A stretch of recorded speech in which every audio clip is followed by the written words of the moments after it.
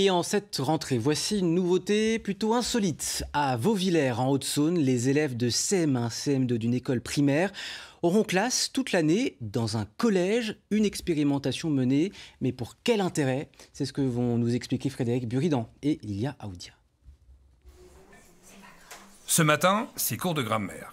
Dans la salle de classe des CM1 et des CM2, 18 élèves qui ont quitté leur école primaire pour poser leur cartable et leur cahier au collège de Vauvillers.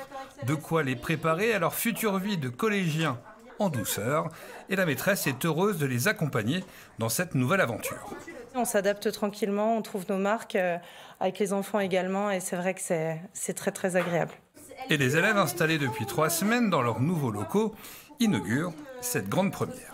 Au début, j'étais un peu stressée, mais sinon ça va. Ça, ça fait une sensation bizarre parce qu'avant j'étais tout le temps au primaire. Parce qu'on voit les collégiens avancer et tout. On n'a pas l'habitude d'être dans une aussi grande école. Ouais. Et finalement, on s'y fait, ça se passe comment? Oui, ça, on s'y habitue.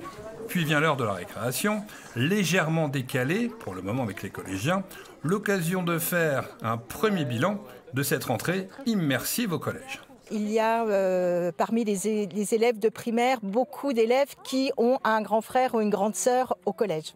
On est effectivement sur une transition douce qui va permettre à ces élèves de passer euh, euh, de l'école au collège et, bah, de manière plus douce et puis de pouvoir profiter des, structures du collège, alors type le Fab Lab, le centre de documentation et d'information, entre autres.